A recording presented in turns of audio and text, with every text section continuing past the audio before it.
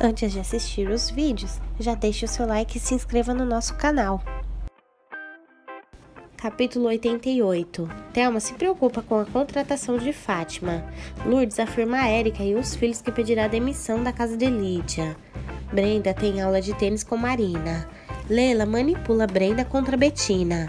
E Holanda visita Lídia, que decide indicar Érica para a marca de cosméticos da amiga. Brenda insiste em morar com Leila e Magno conta Lourdes. Rian encontra o cartão de Ingrid. Leila arma com Penha para conseguir um emprego de fachada. Thelma confessa a Durval que contratou Fátima para se fingir de mãe biológica de Danilo. A pedido de Rian, Ingrid dá uma nova chance a Marina. Lídia não aceita a demissão de Lourdes. Érica ganha uma bolsa de estudos em Paris. Rian e Sandro pensam em trabalhar juntos. Raul rejeita a ideia de Sandro. Estela procura Álvaro.